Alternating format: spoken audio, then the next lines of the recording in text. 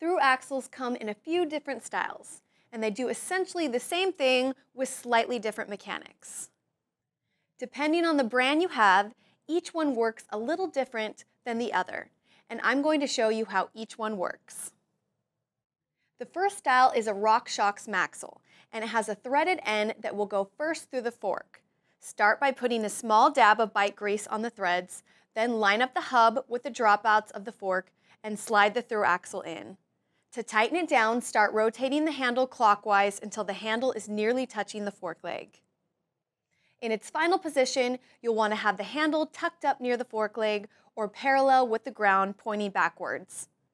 When it's nearly touching the fork, close the lever to tighten the unit.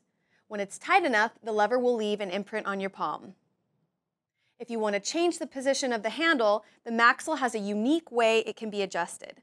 Take the axle out and you'll see this line on the head and these numbers on the body of the axle. You can push the head of the axle down to spin the lever without moving the rest of the axle, which will change the final position of the lever when it's tightened properly. Another version of the RockShox Maxle looks like this. It also has threads you will grease before you push it through the hub. With the lever in the open position, it will fit right into the notch in the collar. Use the lever handle to push on this notch to thread the axle into the fork. When the collar bottoms out on the fork, back it off a little bit, then you can move the lever out of the notch to freely rotate it without further tightening the axle. Get it lined up with its desired final position and close the lever. It should end up tucked up near the fork leg and it will leave an imprint on your palm when it's tight enough. There is also a Maxle that doesn't have a handle on it but needs a 6 millimeter hex wrench to be fully tightened.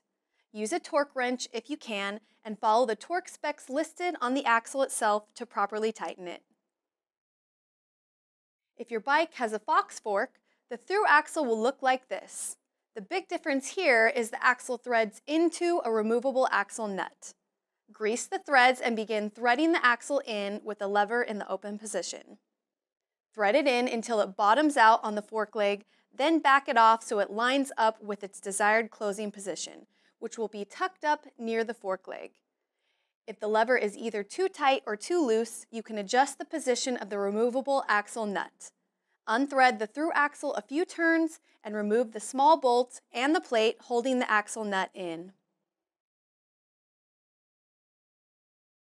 Rotate the nut a few degrees, which will allow the axle to close in its desired spot with the correct amount of resistance.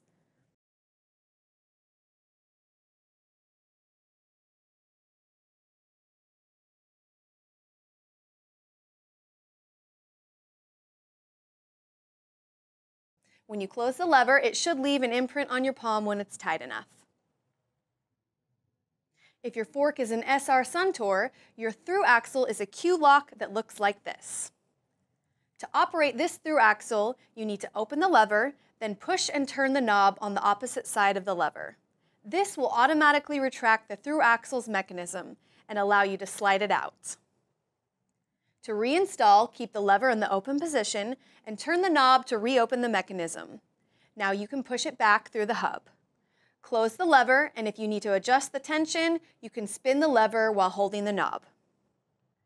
The lever should leave an imprint on your palm when it's tight enough.